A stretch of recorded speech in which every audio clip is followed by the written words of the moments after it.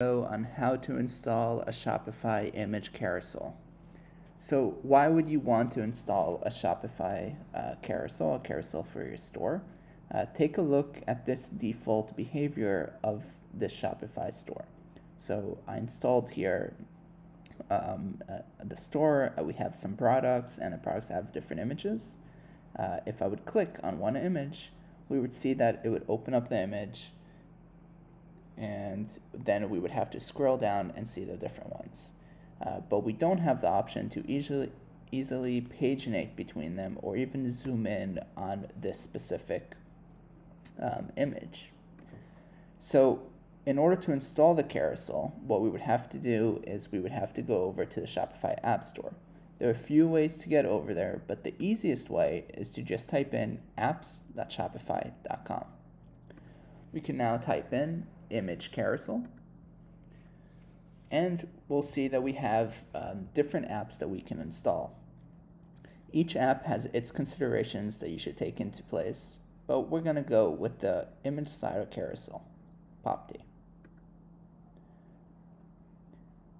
Each app has different um, different features, different things that we would want uh, to see installed. For example, this app has all the features that we need. It has an image slider, which will allow us to go back and forth between the images.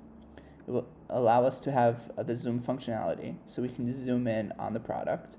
It has mobile and desktop support, something that's really, really important when we also want to target our mobile um, visitors. It's fully customizable, meaning we could change around the colors. It's very important. And so it has all the features that we want and, uh, and, and that we need in order for us to, to have the carousel. Uh, we can see also how the preview looks. So we can see we have the product here. There's pagination.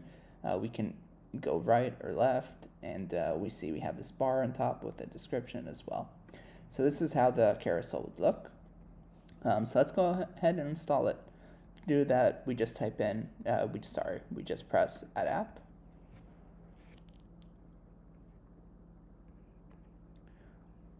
We press on install app.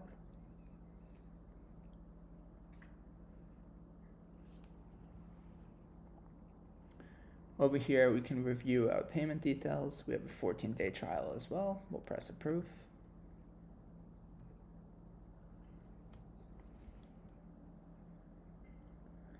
So the app is now installed and we have here our uh, customization that we can make with a preview. Um, I'm to go ahead and just customize it so the background of uh, the carousel is white. The color of the button, I'll make it blue. So when we go over it, we can see here blue.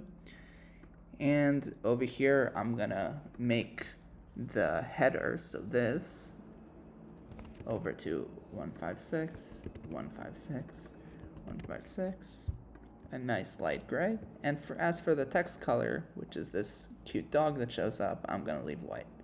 I'll press on Save Changes. We can see our settings has, have been updated. Now, it's important for us to also make sure that the extension is enabled since this is a theme extension. And so we're going to click on the online store. Under our theme, we'll click on Customize. On the left side, we have the app embeds, and we can see that the image carousel is enabled. At any point, we can also disable it without uninstalling the app also, so if we want to test how it is before and after.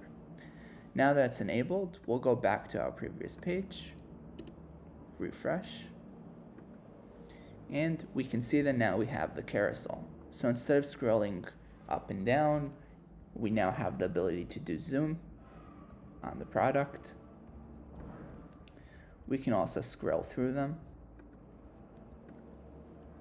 zoom in, whatever we need. We see the pagination at the bottom.